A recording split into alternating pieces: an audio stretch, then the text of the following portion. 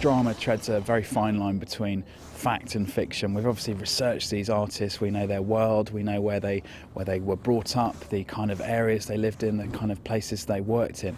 Uh, but of course, it's a drama, so we really want to get engaged with the characters. So the writer's done a really brilliant job of marrying some of those facts and anecdotes and little details of authenticity about these people, but also with a really engaging, sexy, fun relationship drama. I think the, the, the reason we've made the piece is, is to um, uh, is about their relationships. I mean, obviously we know about their paintings, we know about the history of them, and in researching the roles, a lot of the, the, the reading on it is very academic.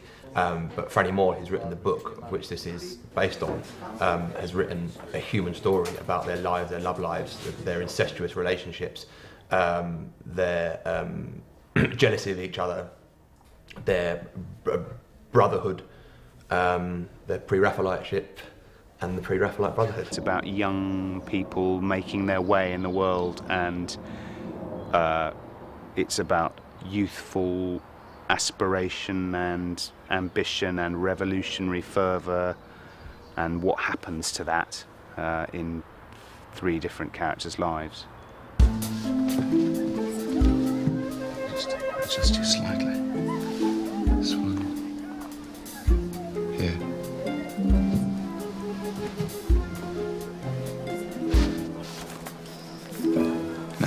There is, of course, a very raunchy angle to this drama. This is a group of young artists and their models and muses, and they have very passionate relationships. Although we are dealing with um, a period project, it's it's it's quite relevant, I think, to. Um, to the times we're living in now. You know, you're following these four boys who um, are sort of celebrities of, of their age, and um, and they, they they sort of engage in just as many scandals and and hijinks and um, as as lots of the celebrities that we read about in papers do today. And um, I think they've they've sexed it up a bit. I think it's quite a racy piece. Um, but at the same time, it's got some brilliant characters and um, and a really brilliant storyline. The really iconic pre Raphaelite paintings of their day were incredible allegories and moral and religious paintings, uh, and they felt very, very different from the art that had gone before them. They weren't necessarily overladen with sex or sexual content, but behind the subtext of the paintings we see a different story, and it's the story between the artists and the models themselves.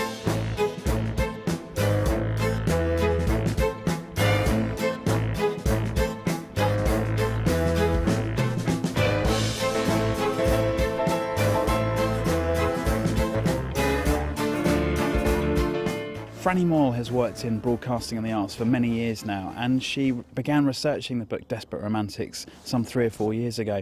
And, and it's inc an incredible book. One has to read it just to see the, the, the very diverse lives that these, this bunch of artists lived.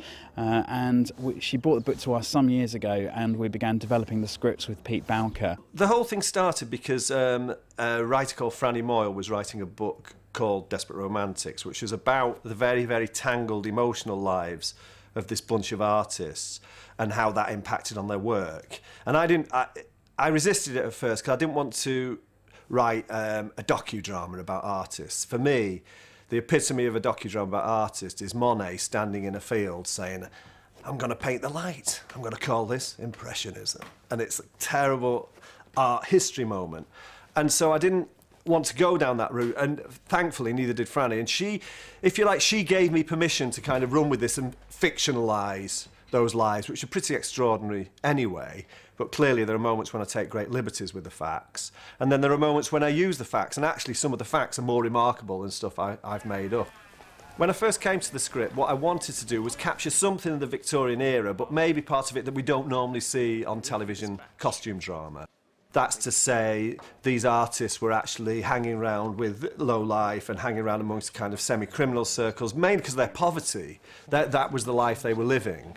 And also their idealism, which again was a very familiar young man's skewed idealism of, on the one hand, these passionate beliefs in social justice, and on the other hand, wanting to get laid. And those two things will always pull young men in two different directions.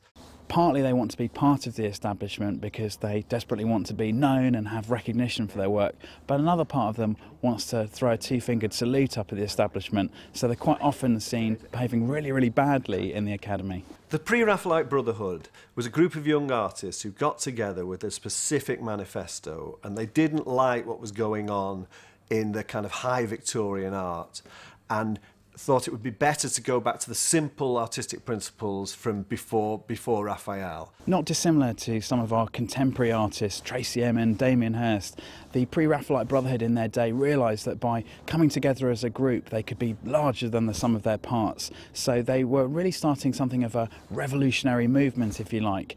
I think a good parallel to be drawn with these characters is, is punks 100 years later. Um, uh, and with the punk movement, the punk movement was um, a sort of retaliation to prog rock, and they wanted to strip all the sort of fancy music of prog rock down to back down to three instruments, four chords, um, and go back to it being simple and raw. And in a way, that's what the pre-Raphaelite Brotherhood wanted to do in going back to art before Raphael, so medieval art but using the, the, the accuracy and the perfection of the Renaissance. The young artists of England should go to nature in all singleness of heart and walk with her laboriously and trustingly, having no other thought but how best to penetrate her meaning, rejecting nothing, selecting nothing, and scorning nothing. Your words, sir? I'm aware they're my words. You could be describing these daring young men, sir. You could be describing these very artists. Well, they need Ruskin, so they're desperate to have his good opinion, but they also uh, laugh at him and mock him behind his back. These artists are um, more than anything ambitious, and I think if you're ambitious, you in art, in any in any sort of section of art, what you really want is for other people to see what you do. Do you know what I mean? That you want to, you, you don't just want to paint and keep it to yourself. You want people to see it, and he was the key to that. The Royal Academy was the epicentral point for artistic creation and the artistic establishment in Britain. I think the Royal Academy had a different attitude to each of the painters. I think they felt that Millais was uh, a genius who had strayed from the fold and come under the influence of this rather wild group. And indeed, they got Millais back into the fold fairly quickly. Uh, I think Holman Hunt they felt was verging on the blasphemous in, in, the, way, in the way he portrayed religious themes and the, in the themes, themes and the way he painted Christ and so on. And I think they really didn't take Rossetti seriously. I'm finding it hard to draw under such damned pressure. I think to expose that kind of sexuality in paintings was incredibly risky back then. I mean, but and it showed. But it may, well, it may have hindered their reputation at first, but people wanted their work. I mean, they were always they were always private buyers. It was very taboo or something, weren't they? I mean, people kind of wanted what they knew they shouldn't have or something. Yeah. You know. Still the same. Yeah, still the same.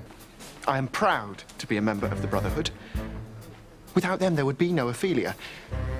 Uh, Ophelia is just the beginning. Myself and Mr. Hunt and Mr. Rossetti here are about to change the world. I'm Rafe Spall. I'm playing William Holman Hunt, otherwise known as Maniac or Mad. Um, he is a painter. I'm Samuel Barnett, playing John Millais, um, pre-Raphaelite painter, youngest person ever to be accepted to the Royal Academy at the age of 11. Um, he was a child genius, and he eventually became uh, the president of the Royal Academy later in life, but we don't get to see that in this series. I'm Aidan Turner, and I'm playing Dante Gabriel Rossetti. The most famous one. Yeah. The one everyone's heard of. The one everyone knows. The sexy one. Yeah, the sexy, better looking one than. Mm. than Yeah. me, yeah. Um, my name's Sam Crane. I'm playing Fred, Fred Walters, uh, and I'm a sort of composite character, mainly based on Fred Stephens, who was one of the original members of the PRB, uh, with a bit of Walter Deverell, a little bit of William Michael Rossetti, and maybe even a touch of Ford Madox Brown in there. And perhaps a bit of Christina Rossetti as well. Yeah, maybe a touch of that. Got But a touch of basically, that. I, I'm uh, I'm the, become the kind of the group's diarist, and I'm sort of journalist. I write about them. I like I like to see him as the Jack Kerouac. I've said this to you before. Yeah, yeah. Jack Kerouac to Bill to, to, to Neal Cassady, uh, Allen Ginsberg, and William Burroughs. That's brilliant. Yeah. Seen through his eyes. Yeah, we've thought about it. Yeah. Yeah, it's kind of all through my eyes. I came up with that on my own. State maniac, you could have warned us. Miss Siddal, please avert your gaze.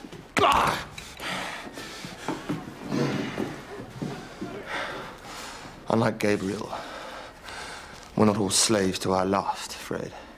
I loved your painting of the Eve of St. Agnes. You've acquainted yourself with my work. It's a good start. With Holman Hunt, the you know the fact that he became this kind of cornerstone of the establishment in the academy, that just the sheer creative energy is astonishing. Rossetti is very um, uncomplicated in his attitude to sex and his attitude to laudanum, for example, whereas Hunt is always going to see a problem, even when it's very straightforward. Marry the girl you love, and you'll be allowed to have sex with her for the rest of your life. Even that to Hunt causes some kind of conscience or ethical or searching religious problem. John Millais was a odd fish. There's no two ways about it. Samuel Barnett captures this bird-like quality of Millais, who was seemingly oblivious to the world around him and was so obsessive about his painting. In those three, it's always good to have the boy who's led astray. And in, in some respects, Hunt and Rossetti are alternative father figures to Millais, who is kind of caught between these two examples, both of which aren't great examples of how to be a grown up man, but Millais doesn't know that. I didn't know you could write that well. Have you read none of my other work? I make it a point to never read about myself, Fred.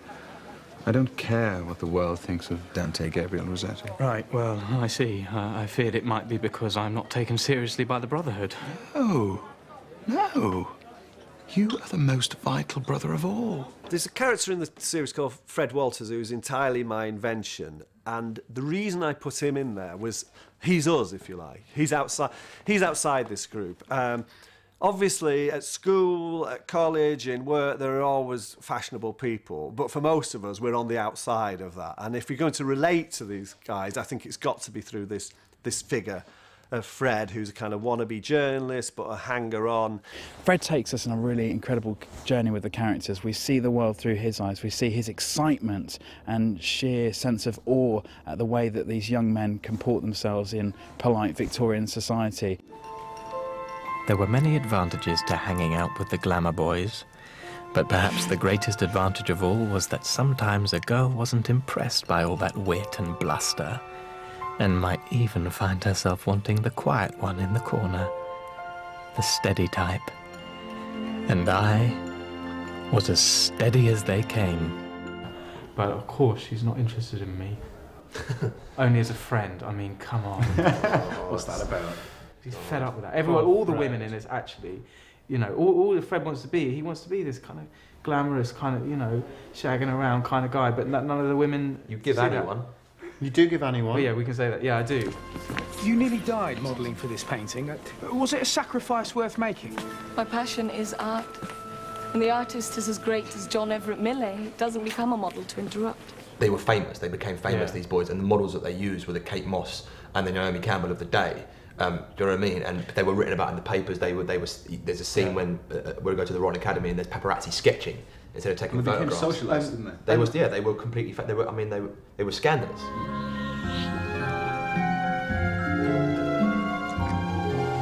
They wanted to make art. You know, it's not an interesting job. You're standing around all day in the same pose, possibly in the freezing cold or in the snow and all kinds of weather. So I mean, that, for a year. well, f- yeah, for a year, it's incredible. So I mean, yeah, it's, it's it's amazing what they did. A lot of respect for that. All our female characters are equally important in this piece because they play not just the object but the subject of the guys' attentions. They are models, muses, they're taking incredibly dangerous steps into this world of bohemian artists. Lizzie Siddal, however, takes an enormous risk being an artist model. She's a hat shop girl. It's a working class profession, but it's at least it's uh, socially um, acceptable. However, however, being a model is one step up from prostitution. So she's taking incredible risk working with these artists. Uh, she began in a hat shop. She was found in a hat shop by uh, Fred Walters. And um, she became the Pre-Raphaelite's muse. Excuse me. Excuse me. This is going to sound strange. It already does. These gentlemen here are the Pre-Raphaelite Brotherhood. Really? The Pre Raphaelite Brotherhood?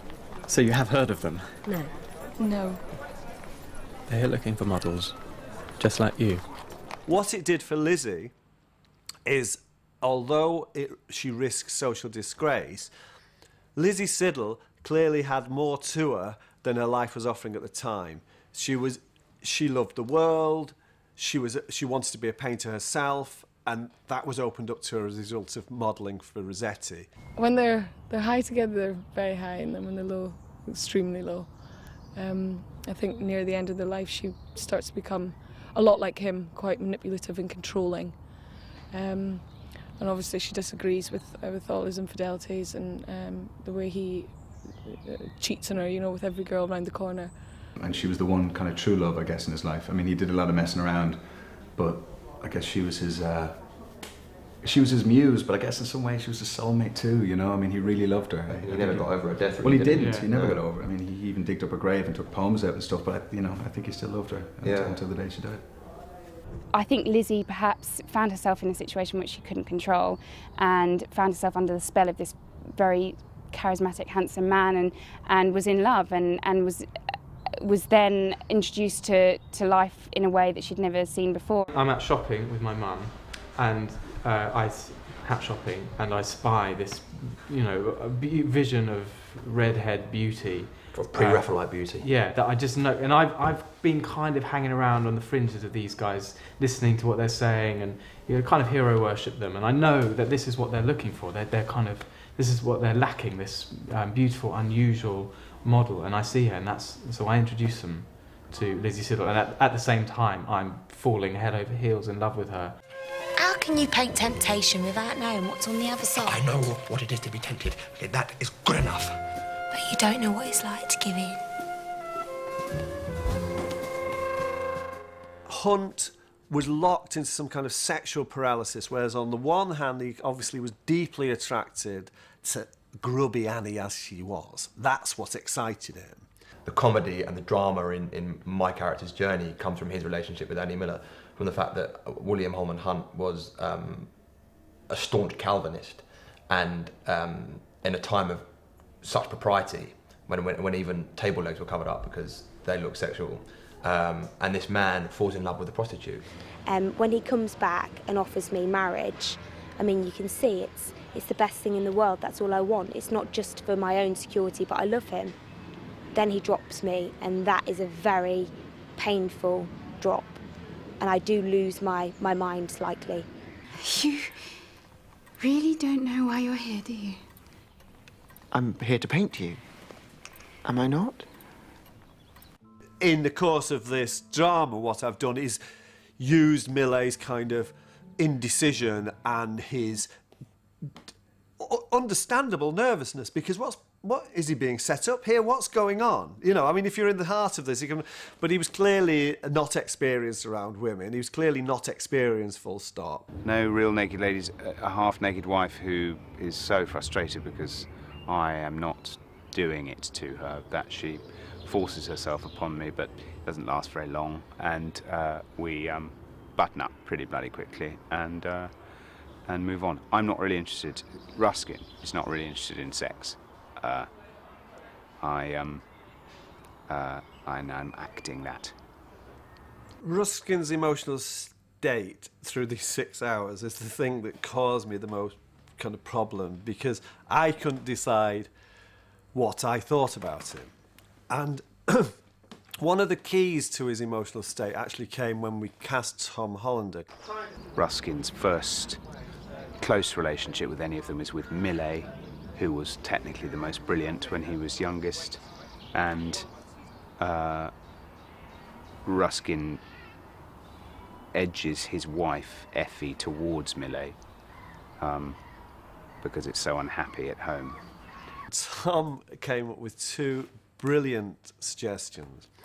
One was he said, Could there be a moment in the series where we hear Ruskin do what he does best, where we hear some of his description of art without it being an art history moment? And I do I include that and something happens to your regard for Ruskin because all we've seen him if we don't know nothing about him what we've seen is a faintly ridiculous man but when he talks about uh, Millais's painting of nature, he can he, he nails it. and, and in beautiful language. I, I mean, I lifted the dialogue completely from a, a letter he'd written. The other thing Tom said, which was more of a challenge, was could you give him a moment where he justifies his attitude to sex? There's a suggestion in this that he's having inappropriate relationships with young women, which um, is no not proven or substantiated. And it's a sort of gossipy rumour about him, which um, I was quite keen to uh, um, not play, uh, and rather just play a man who um, uh, who isn't really that into sex, uh, and finds it a bit frightening, and prefers to uh, prefers to live in a world full of ideas and uh, abstract things and things that are beautiful. Effie manages to get out of her marriage with Ruskin because they never consummate it. He cannot and will not have sex with her, and she falls in love with my character, and uh, she gets the wedding annulled and the marriage annulled, and then she marries my character, and they kind of live happily ever after. They have about 13 children.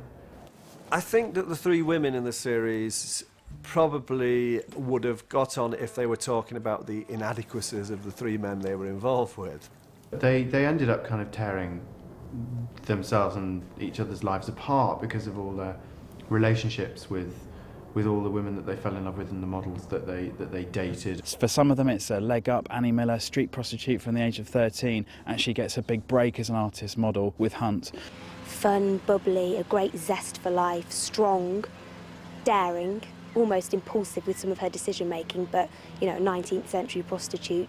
The word is surviving, and that's what she's doing. Now, I personally think that Effie is an amazing woman in her in, in her own right. I mean, she eventually um, gets an annulment on her marriage to, to John Ruskin at a time when that was absolutely unheard of. I think what's fascinating about Ruskin is here it's the compartmentalization of his life. Here is a man who is clearly brilliant when he's writing about art and the function of art in society and writing about society. And here is a man who is completely backward when it comes to think about relationships, about love, about sex. We have been married for five years. And in that time, you have kissed my shoulder four times, cupped my breast in your hand twice, and once nuzzled my neck and whimpered like a dog. I thought you understood that this marriage was based on mutual love, mutual respect, and companionship. I need more. No woman needs more. You go quite against nature when you demand it. Please, tell me what I can do to help you overcome your fear. Art critic, social reformer, geologist, architecture expert, artist, teacher, inventor of free education for all. Uh, I think he even founded the National Trust, but not in this. In this, he's um, a bit of a paedophile um, and uh, and an art critic. And John Ruskin was the art critic of the day. If you had him on your side, then you're pretty much guaranteed a successful career. Our boys like to hang out. Let's face it, they do cruise for a bit of fun on the streets of London and they like slumming it. Some of them are posh boys, but they do like those good time gals, and that's a bit about what this drama's about. So we need to see these colourful young peacocks up in quite grimy, uh, difficult, dirty uh, London. So we get a bit of a sense of that. And this is where we are today. We're at Luton Hoo Farm, uh, which is just outside London. And as you can see behind me, we've got um, we've got this incredible cobbled street, which is doubling for slum London, basically. And uh, we're also filming the Chop House, which is where the, the boys congregate. They talk about their, their art, they talk about women, and they talk about their, their rivalries with one another. And that's all happening behind us now. The sets and locations have been have been brilliant, really. I mean, obviously dealing with sort of I, my character has mostly been in um, Ruskin's house, which um, we filmed in Luton Hoo, and in this sort of big old house that I suppose is, is, a bit of an empty shell at the moment, but we went in there and transformed it, and, and it looked very opulent and grand. Um, and and then, like you say, today we, we're in Pinewood, but they've transformed that into Shaggers Wood, I think is what what it's referred to as. Um, and and so yes, I mean they're just so clever. All of the all of the sets have been fantastic. We see the world of the art establishment in the Royal Academy, where the academicians were uh, were showing their uh, their kind of innovations in art, and where our young aspirational artists desperately want to have their work displayed. So we had to create something of the Royal Academy, an incredible challenge, and we worked at Pinewood Studios and built some of that interior there. These artists paid tremendous attention to detail and they had a very vivid colour palette and that's certainly been something we wanted to reflect in the production and design of this series. So the colour palette, the design palette, the makeup and costume palette has been designed with that in mind and we're being very referential in terms of uh, some of the inspiration we've got behind their looks but also with the photography and the way we've shot this drama has a very crisp, uh, realistic feel. So we're right in the middle of a Victorian world, uh, yet we, we almost feel it's got documentary realism. Each of our characters very different characters, and so they have a different uniform to reflect that. Hunt, a very religious character, very uptight, so we've really given him a bit more of a dark colour palette, a bit more of an uptight colour palette. Uh, Rossetti, much more loose, laid back, generally got his shirt open. He's, he's basically one step between the bedroom or the bar. John Millais, he's an absolute peacock of a character, prim, little Lord Fauntleroy. I think if you had to have a look at these costumes and say which was the best, you'd probably say mine. I think you'd probably say mine if you saw my Willy Wonka I'd big say purple both coat. of these guys. Well, I'd say. No, you've all, they've all great. Unfortunately, I haven't got my really nice shoes on that were made especially for me, but Uh-huh. they're, they're pretty special. They're all flamboyant. They're all crazy. You know, it's these crazy kids, and how to kind of um, h- um, remove them all from almost the, the rest of society. You know, and how to make them different, and almost that, that they didn't they didn't care. You know, they didn't give a fuck. So. The, the script um, Pete Bowker's written, the, his first description of the Pre-Raphaelite Brotherhood is um, they're in a McLaren-esque combination of workwear and highwear, um, and he describes um, Rossetti looking Withnail-esque, as well as their, in, in the same way that their art stood out, the way they look stood out. I think Mm. they were art in themselves. Fred, like, he, I, I'm, you know, would make a bit of an effort, um, but can't maybe quite carry it off with the same panache as these other guys. Oh, you can, mate. Don't worry about Well, it. You thanks, can. thanks for saying that. You're good. It's kind of you. Can, yeah. I've had lots of high necks and covered up and very respectable costumes. Um, this outfit actually is, is is kind of early stages of pregnancy for Effie Ruskin because she does end up having I think about 13 children with John Millais. Um, and so in later scenes you'll see me with a big bump. But um, but the costumes are gorgeous. The, the job that the costume department and the makeup department have done is amazing with the girls. If you look in the in the tavern scenes, and when you first see Annie Miller in the tavern, um, the Victorian prostitute makeup that Karen Hartley Thomas has done is all white and um, uh, with red lips and this red hair piled on top of the head and the sort of corsets and it looks very Vivienne Westwood esque. It's a very striking image, and there's also a scene at the beginning of episode one um, where we're choosing a prostitute to to um, to paint, and they're modelling naked for us. It's sort of like an X Factor type. Rossetti's like Simon Cowell. The corsets, if, if you get one that's very well fitting, then they're not too uncomfortable. It's only when you start to, and if you sit in them properly and you stand in them properly as you were supposed to, um, they're fine. It's when we start to put our 21st century slouching in and, uh, and then they find sort of little creases and, and they become a little bit uncomfortable or the bones stick in or you've had a bit too much lunch or, you know, that's when it starts to get a bit painful. But, you know, they- they're not too bad. really good. I've been quite lucky in not having to wear corsets um, throughout it. Yeah, Lizzie was, was renowned for never wearing a corset. So, I mean, initially in the first three episodes, James, um, uh, the costume designer, he wanted to give me a bit of a figure uh, in order for my character to progress. You know, to see her the states that she she eventually falls into. So I've been lucky not having to wear corsets. I hate corsets because um, I can't eat my lunch when I'm wearing my corset, so I have to have it taken off. And once I got my tights stuck under my corset, so I had to cut them off when I needed the loo. And um, yeah, I just don't like them really, and they feel like they cut me in half and break my ribs. Annie, Annie, I was describing the woman in the painting. I wasn't describing you. Why not? How's she different? Am I cleverer than her? Am I more of a whore or am I less of a whore? I was describing the relationship that the woman has subjected herself to. You were thinking your own filthy thoughts, then making sure the woman got her share by telling the world what a slut she was! The thing that we normally, we sometimes don't get from period dramas is that is how much tougher life was, not just for the very poor, and indeed it was horribly tough, but for people like the brotherhood, the aspiring artists, and the there are times when they're clearly choosing between food and paint. There was an explosion in the in the sort of publishing industry as well in the printing press, so that for the first time, um, paintings that, that this group of guys had, had done themselves could be, um, what's the word? Reprinted. Reproduced. Yeah, Yeah. nationally reproduced in, in newspapers and in in periodicals, so that everybody knew about them Yeah. suddenly. It's like you know being published in Heat magazine. You know, so Mhm. it's that was the, and that was the first time that that had really happened. So they became celebrities, and so did their models. Yeah.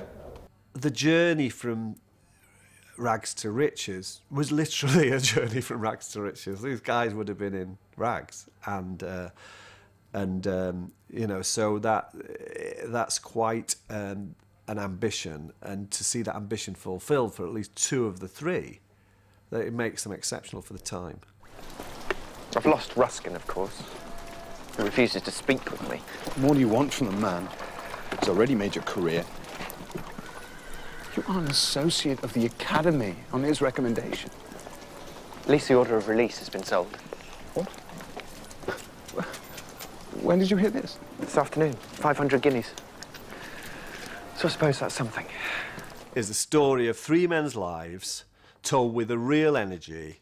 They were trying to change the world with their art, but they were constantly distracted by lust. And I think that's what people should bring to the programme when they sit down to watch it and hopefully take away from it at the end. After the six hours, I would like the audience to feel that they've been entertained, that these men had their faults, but feel affectionate about the way those faults have been explored. And I'd also like them to think that it was, you know, it had more laughs than the average art biography. Arse for art's sake. Back to work. Thank Back you. to work. Thank you very much. Or, as the boys might have it, art for arse's sake.